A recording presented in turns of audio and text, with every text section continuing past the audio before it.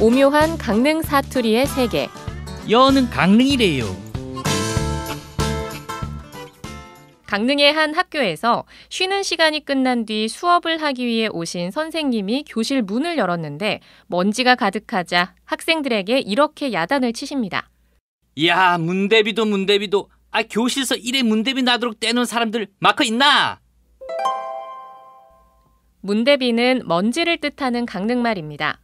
그러니까 선생님의 말씀, 교실에서 이래 문대비 나도록 떼놓은 사람들 은 교실에서 이렇게 먼지나게 뛰어논 사람들이라는 뜻인 거죠.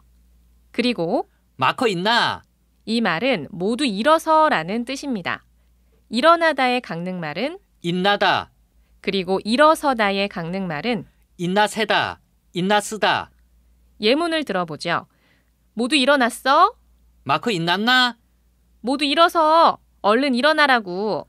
마커 있나 세 얼른 있나라고 먼지의 강릉말 문대비 일어나다, 있나다 일어서다.